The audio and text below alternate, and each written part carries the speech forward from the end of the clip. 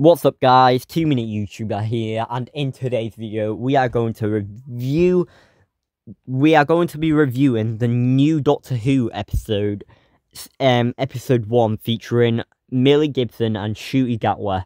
Um, if you saw the short review and clicked on this link, um, welcome. Obviously, it's hard doing a review onto 60 seconds, because that's all that shorts allow.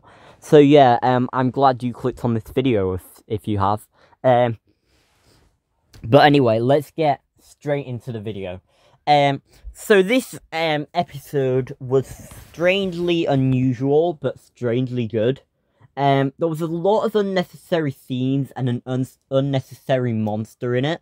Um, but yeah, um, I loved um how they incorporated some of the parts from the Christmas episode and made it so that it was still like Christmas still. Like it was like the day after Christmas or something. But um it was really cool. Uh, obviously I am not spoiling anything, so um just to let you know. So I won't be spoiling anything. I'm just giving you my honest review. Um but yeah, it was pretty decent. What would I rate it out of 10? I would rate it a good um maybe 9 yeah, nine. I'd say nine. It was pretty good. Um, but yeah, I'd just say it was a lot. Like it's really decent.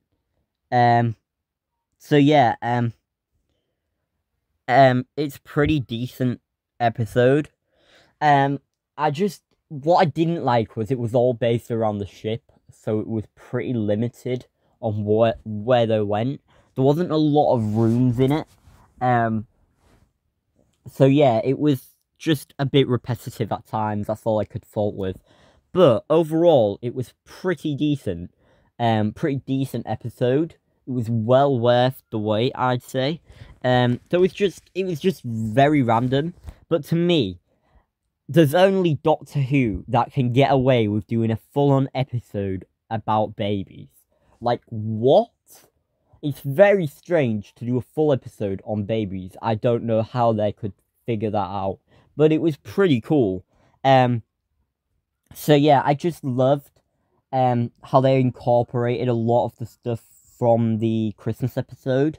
Um, and obviously, guys, if you are subscribed, if you aren't subscribed, or if you are subscribed, um, you know, subscribe if you haven't, because um, you know, I'm gonna be doing a lot of reviews on Doctor Who because I'm going to be doing a review on every single episode and they are all going to be non-spoilers. So if you haven't watched the episode, you can watch this review because it won't spoil anything.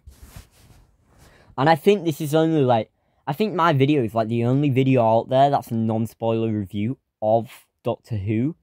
So yeah, um you're not going to really see any other reviews that's that um don't spoil anything. They're all going to spoil something, but mine doesn't. Mine's just honest reviews. Um, so yeah, um, what would I rate it? I would rate it a good 9. I think I al already have rated it, but if I haven't, there are. Um, so yeah, it's pretty decent. Um, it was not what I expected, I'll be honest. Um, it just seemed a bit slow to me, like they could have sped it up.